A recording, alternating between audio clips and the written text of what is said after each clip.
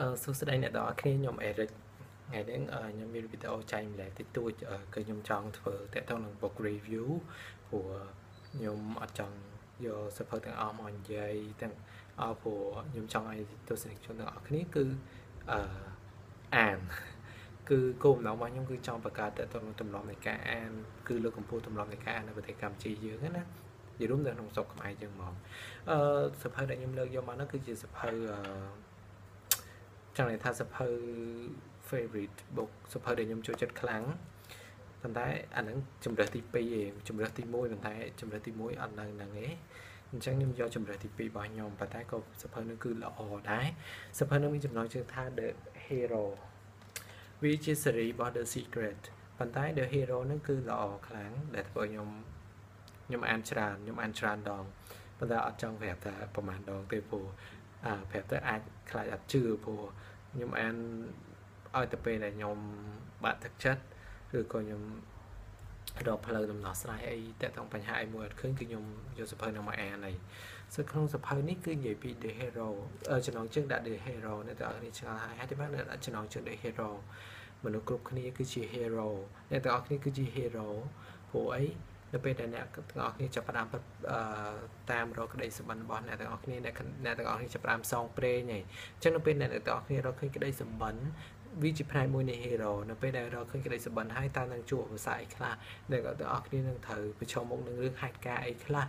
អញ្ចឹងតម្រាំបានទទួលដល់ទៅដល់សម្រេចក្តីសុបិនរបស់អ្នកទាំងអស់គ្នាតម្រាំបានទទួលរង្វាន់នៃជីវិតហ្នឹងគឺអ្នកទាំងអស់នេះទៅឆ្លងរឿងច្រើនអញ្ចឹងហើយបានគេឲ្យឈ្មោះថាជា hero គុំគិតថា ក្តីសុបិនរបស់ខ្ញុំអត់ធំដូចគេក្តីសុបិនរបស់ខ្ញុំណោឲ្យតែក្តីសុបិនគឺតែងតែមានឧបសគ្គទាំងអស់អញ្ចឹងត្រឡប់មកវិញគឺខ្ញុំចូលសាច់រឿងនៃសភៅនឹងតែម្ដងទៅគឺនៅក្នុង The Hero នេះវាមានអឺអ្នកនិពន្ធគាត់គឺឈ្មោះ Ron Darburn គាត់អ្នកនិពន្ធ The The Secret អញ្ចឹង The Hero ហ្នឹងវាមាន4 part part ទី1គឺ The Dream The Dream ហ្នឹងគឺ ចង់បង្ហាញអ្នកទាំងអស់គ្នាគាត់យកពីលើកយកពីបុគ្គលជោគជ័យផ្សេងផ្សេងទៀតហ្នឹងថាតើពួកគាត់រកឃើញក្តីសុបិនរបស់គាត់ហ្នឹងដោយវិធីណាតើចង់និយាយថាអឺ តើគូគាត់នឹងរកឃើញក្តីសុបិនរបស់គាត់នឹងតាមបែបម៉េចពីមុនគាត់ធ្វើរឿងមួយដែលថាគាត់ចេះធ្វើតាមសង្គមប្រាប់ថាអូធ្វើរឿងនេះល្អធ្វើអាការងារនេះវាបានប្រាក់ខែច្រើនវាចាយស្រួលប៉ុន្តែចុងក្រោយក៏គាត់វិលមករកក្តីសុបិនរបស់គាត់ប៉ុន្តែនៅក្នុងនេះនឹងបានបញ្ជាក់ថាតើគាត់រកក្តីសុបិនរបស់គាត់នឹងតាមវិធីណាដែរអូខេកុំទៅវែងឆ្ងាយ and អឺ part 2គឺ The Hero The Hero ហ្នឹងគឺនិយាយ part 2ហ្នឹងគឺនិយាយតទៅនឹងជំនឿ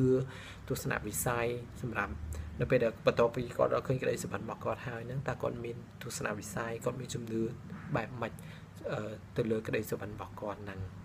អូខេ part ទី3គឺ the quest the quest នេះមានន័យថាការនាំការនាំទៅដល់ផ្លូវនិយាយរួមទៅតាមផ្លូវនៃអឺនៃ ដំណើររកទៅដើម្បីសម្រេចក្តីសម្បត្តិរបស់គាត់នឹងតើគាត់ត្រូវជួបរឿងអីខ្លះត្រូវគេនិយាយអីខ្លះត្រូវមានបុគ្គលណាមករៀបរៀងខ្លះត្រូវជួបចិញ្ចាំងអីខ្លះដែលរៀបខណ្ឌគាត់អញ្ចឹងណា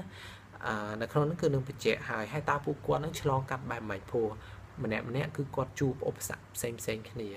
ព្រោះគាត់មានក្តីសម្បត្តិខុសខុសគ្នាតែម្ដងដល់ពេលអញ្ចឹងគឺគាត់នឹងជួបឧបសគ្គផ្លែកផ្លែកអញ្ចឹងអ្នកទាំងអស់គ្នានឹងអាច ស្វែងយល់នៅក្នុងនោះបានបើនិយាយទៅអានទៅដូចគឺដូចរឿងភាគបងខ្ញុំអានឡើងខ្ញុំអានច្រើនដងមែននិយាយតាមត្រង់ហើយចំណុចចុងក្រោយគឺ the victory the victory ហ្នឹងបើជាភាសាខ្មែរគាត់បោកមកថាភាពជោគជ័យអញ្ចឹង the victory ហ្នឹងតើចុងក្រោយគាត់ទទួលបានអីដែលមាន reward គេហៅថារង្វាន់នៃជីវិតរបស់ពួកគាត់ហ្នឹងតែចុងក្រោយគាត់ទទួលបានរង្វាន់អីខ្លះបន្ទាប់ពីគាត់ត្រូវតស៊ូទៅ គាត់ត្រូវរះបង់រឿងមួយចំនួនរះបង់ពេលវេលាខ្លួនឯងមានច្រើនមែនតើមានរឿងរ៉ាវច្រើនហើយដែលគួរឲ្យចាប់អារម្មណ៍ខ្លាំងនៅក្នុងសភៅមួយនេះអញ្ចឹងអ្នកទាំងអស់គ្នាអាចរកទិញបានសភៅមួយនេះបើសិនពូមានជាភាសាខ្មែរដែរប៉ុន្តែអឺយ៉ាអឺបើសិនបើអ្នកទាំងអស់គ្នាចង់គិតថា